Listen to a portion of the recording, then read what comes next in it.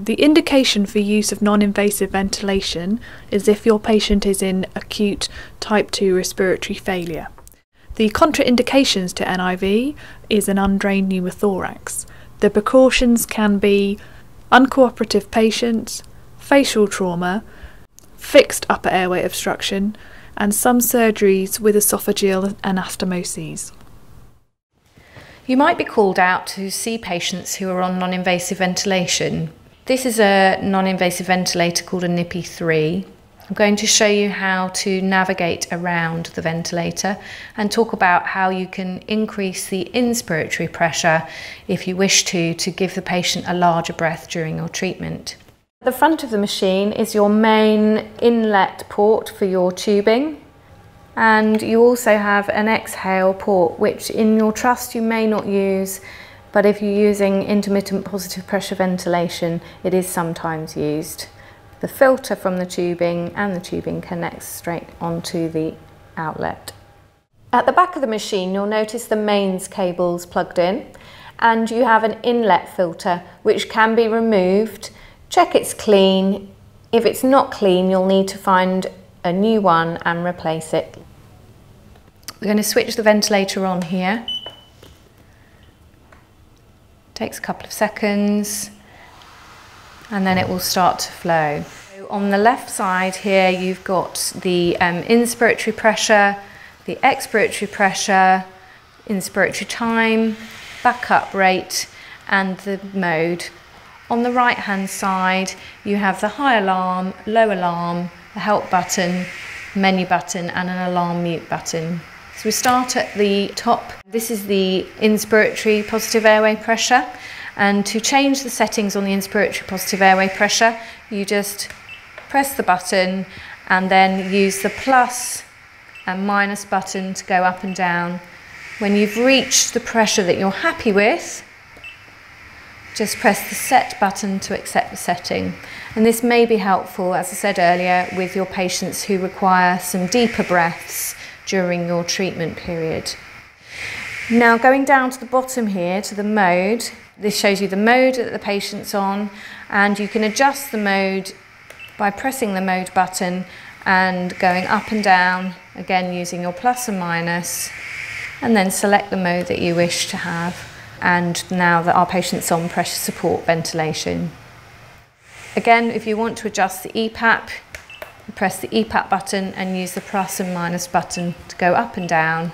When you're happy, press the set button and release. And the same for all of this side.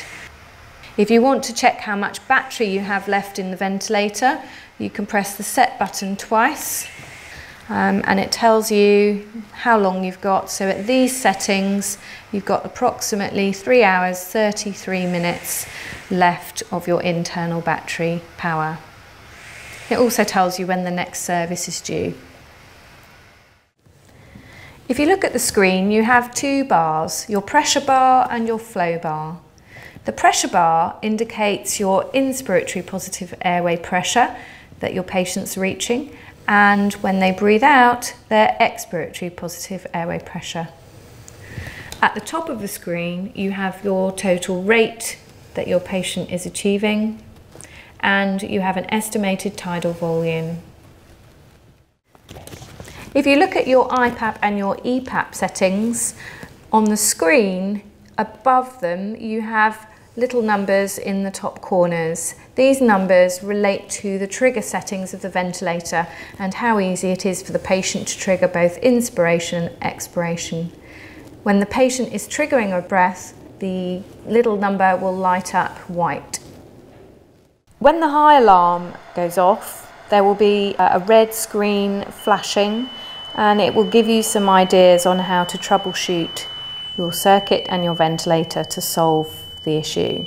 To mute the alarm, you press the alarm mute button. When the low alarm goes off, again you will see a red screen with some troubleshooting ideas to help you solve the issue.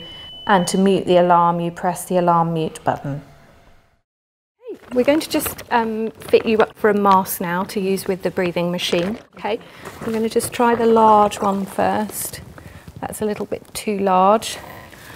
I think the medium is going to be a perfect size for you. It just goes over to the bridge of your nose and just under your lips. And I have a, a medium mask here, okay? Um, it's got a head strap on the back. We're going to lift the head strap over the back of your head, pop the face mask on your face, um, and then tighten the straps. Okay. The mask does have to have quite a tight seal on your face, so we will need to pull it fairly, fairly tight. Okay? Yeah. So just lifting it over your head now. Just get your fringe out of the way, over. Get that comfortable. Okay? Mm -hmm. Put that one in there. That's it. Okay, then we're just going to tighten the straps at the bottom um, and then at the top.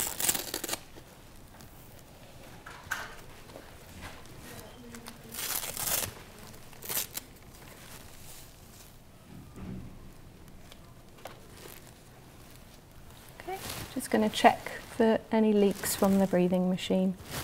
Okay. Mm -hmm. This is the um, exhale valve on the breathing circuits. It's really important that this valve is kept clear at all times and this is where the waste gas is going to come out. Um, it's also important to note that there is a difference between this valve here and this exhale valve. This valve in the mask is called a pressure relief valve it's really important to note that that valve closes when there's flow coming from the ventilator um, and then opens when there's no flow. It's a safety mechanism to ensure that if the ventilator fails for any reason, the patient can then inhale and exhale through the, the hole in the mask.